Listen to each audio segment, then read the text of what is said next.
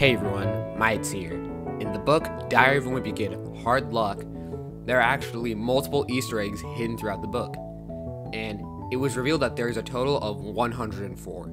So in this video, I'm going to try and see if I can find every single Easter egg in the book. So here we go.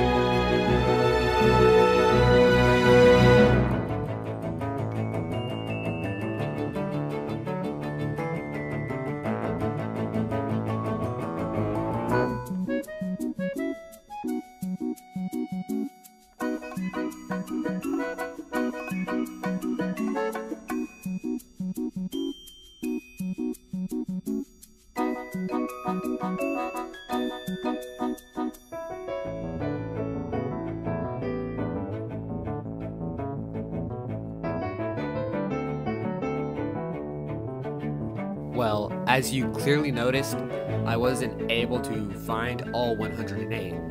Now, there's two reasons that I can think of that I wasn't able to find them, and I'll give them to you right now. The two possibilities are one, I accidentally skipped a page, which is 100% possible, and number two, the even more likely one, it's duplicates.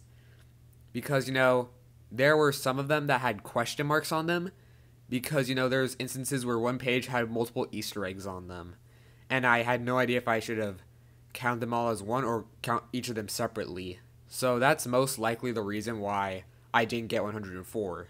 Now, I want to say this. If any of you have a physical or digital copy of Diary of Get Hard Luck, you should try counting all of the Easter eggs you can find and seeing if you get similar results as me. And if you do do that, comment it down below because it'll be cool to see it, what you guys can find. So yeah guys, I hope you all enjoyed today's video, and if you did enjoy this video, check out some of my other content, and if you really enjoyed this video, subscribe. And yeah, I hope you all enjoyed, and I'll see you guys in the next one.